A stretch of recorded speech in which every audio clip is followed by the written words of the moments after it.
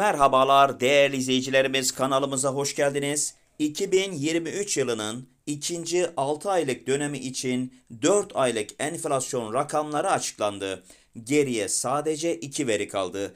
Peki açıklanan enflasyon rakamlarına göre en düşük emekli ve en düşük memur maaşları ne kadar olacak tahminlere göre?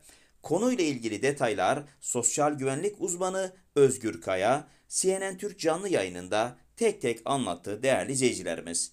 Merkez Bankası faiz kararını %40'a getirdi. 2023 yılının ikinci 6 aylık döneminin 4 aylık enflasyonu şu anda belirlenmiş durumda. Kasım ayındaki 3 Aralık tarihinde öğreneceğiz değerli izleyicilerimiz.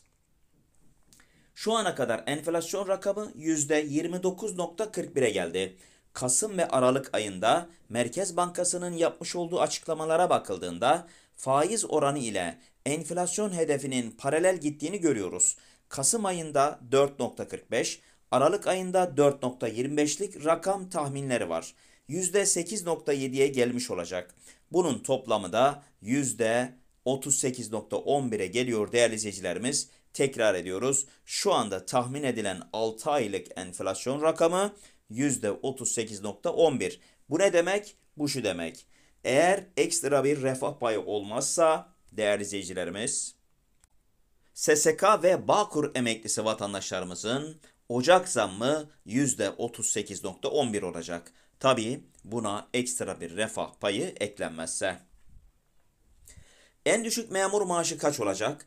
En düşük memur maaşımıza %38'lik enflasyon farkı artı %15'lik toplu sözleşme zammı gelecek. Alacakları zam oranı %43 seviyelerinde olacak. 22.017 TL olan en düşük memur maaşı toplu sözleşme olmasaydı 30.000 TL olacaktı. Toplu sözleşmeden de %15 alacağı için şu anda en düşük 31.484 TL'ye yükselmiş olacak en düşük memur maaşı. Peki en düşük emekli maaşı ne kadar olacak? En düşük işçi ve bağkur emeklerimizin durumu farklı. İşçi bağkur emeklerimizde taban aylığı uygulaması olduğu için şu anda taban aylığı 7500 TL.